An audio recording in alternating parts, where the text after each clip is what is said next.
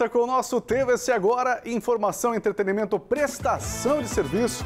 É, e, a gente agradece a você que nos dá o carinho da sua audiência.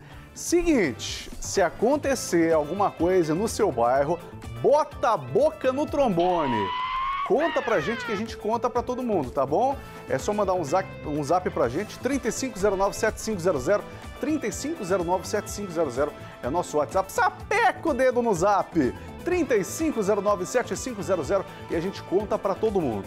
Ô, produção, põe na tela aqui, porque é o seguinte, lá no bairro, no bairro Vila Verde, moradores estão reclamando de um cano que estourou esse fim de semana na rua Antônio de Souza Queiroz, próximo da escola Marlene de Noronha. As pessoas disseram que já acionaram a Sanesul, mas como a rua é de terra, tem provocado transtornos, sem falar no desperdício de água. A gente não está falando aqui que, ai, porque tá, tô pagando por essa água. Não, a gente não está falando disso aqui. A gente está falando de uma rua de terra e quem mora é, em frente a essa casa, o senhor, a senhora que mora é, nessa região, o que, que acontece?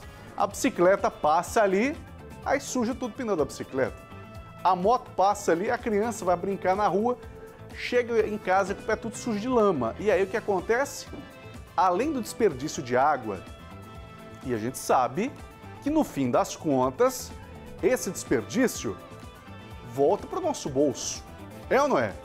Porque a empresa, a empresa de água, ela logicamente vive disso.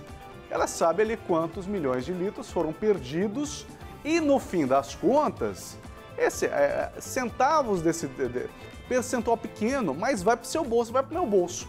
Então essa água aqui, sem contar que a gente está falando de água potável, água sendo desperdiçada, nosso meio ambiente, tanta gente nesse mundo né, que não tem água potável e a gente aqui, ó, desperdiçando água.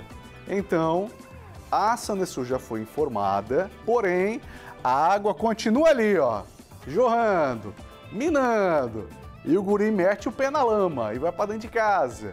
Aí já toma o safanão da mãe, a mãe já fica braba, né? E aí, e aí é rolo e confusão, né? Então, vamos, Sanesul, a gente está de olho, tá bom? Vamos é, resolver essa situação lá no bairro Vila Verde. A gente aproveita para, para agradecer a, a, a, atenção e audiência do bairro Vila Verde, toda a região ali, da Maria Guilhermina Esteves, toda a região ali é do bairro Vila Verde. A gente agradece o carinho, a audiência, é o Zap Zap. É, a gente agradece muito a família Três Lagoense que para nesse momento para acompanhar o nosso TVC agora. Obrigado, hein? Obrigado de coração.